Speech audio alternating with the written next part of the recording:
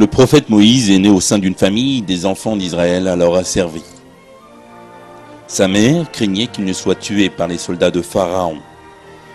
Elle a eu peur jusqu'à ce qu'elle ait reçu une révélation divine.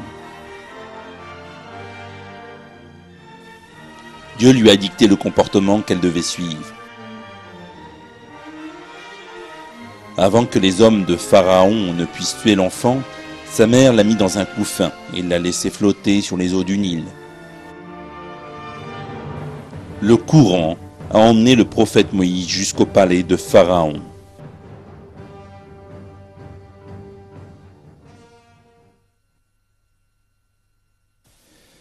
Les gens de Pharaon le recueillirent pour qu'il leur soit un ennemi et une source d'affliction.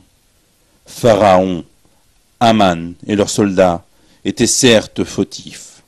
La femme de Pharaon dit, Cet enfant réjouira mon œil et le tien, ne le tuez pas. Il pourrait nous être utile, où le prendrons-nous pour enfant? Et il ne pressentait rien.